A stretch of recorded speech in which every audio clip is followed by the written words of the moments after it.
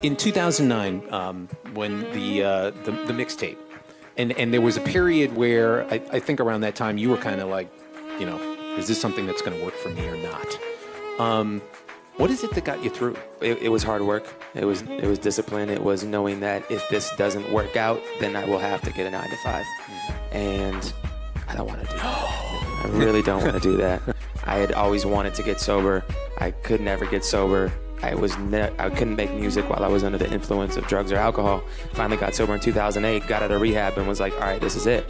I've wasted years of my life. And if this is going to work, it has to work now.